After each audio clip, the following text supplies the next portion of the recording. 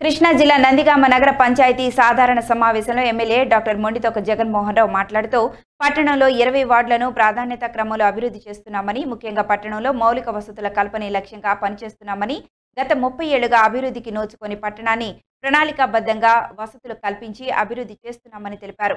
నందిగామ పట్టణంలోని పలు కాలనీలు చెరువు బజార్లు బీసీ కాలనీలు అన్నీ ఒకప్పుడు బురదమయంగా ఉండేవని రాను రాను క్రమంగా అభివృద్ధి చెంది ప్రజలు నివాసయోగ్యంగా ఉండేలా మారలేదా అని ఎమ్మెల్యే జగన్మోహన్ రావు ప్రశ్నించారు.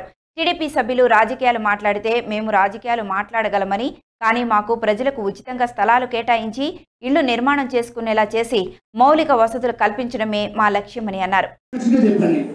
ఇలాంటి ప్రభుత్వ స్థలాల్లో ఎక్కడున్నా ఏమన్నప్పుడు ప్రభుత్వ స్థలాలు దూరంగా ఉన్నాయి ఊరికి దూరంగా ఉంటాయి అక్కడ మౌలిక సదుపాయాలు మనం కల్పించలేం.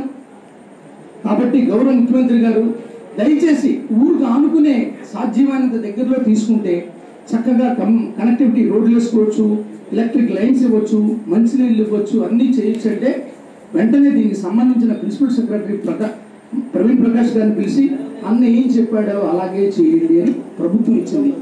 మనం చేస్తే తప్పు తప్ప చేసి తప్పులు చేసి ఉండొచ్చేమో కానీ ఈ రాష్ట్ర గౌరవ ముఖ్యమంత్రి గారు మాత్రం ప్రజలకు అన్ని అందుబాటులో ఉండే విధంగా వెంటనే స్పందించి ఒక్క నందిగమ్మ కాదు ఇది స్టేట్ మొత్తం ఇది ఇంప్లిమెంట్ చేయండి.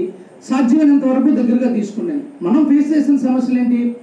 పొన్నవరం ఊరికేమో రోడ్డుకి అవతల ఉంది కంచిచర్లకు అవతల వరంలోకు జగన్నాథపురంకి ఏమో పొన్నవరం వైపు ఉంది. ఎలా ఇస్తాం మనం? కంచికిచర్ల కాలేజీకి సంబంధించిన పది ఎకరాలు ఇళ్ళ స్థలాలకు ఇద్దామని చూశారు. దానికి సంబంధించి చాలా పెద్ద మనుషులు ఇంకా చెప్పాలంటే నా పార్టీ కానాలు కూడా ఆటో వచ్చి మాట్లాడారు. డాక్టర్ గారు అది మనం కాలేజీ కోసం తీసాను సార్ మీరు అసలు నిశ్చింతగా ఉండండి. ఒక్క అంగుళం కూడా పోనివ్వను నేను. అది కాలేజీకి సంబంధించింది. డాక్టర్ గారు జన్మగారితో మాట్లాడతాను. కాలేజీకే చేస్తాం అని చెప్పాం. రికార్డ్స్ అన్ని చెక్ చేయించాం. పది ఎకరాలు ఎలినేట్ చేసి ఉందని.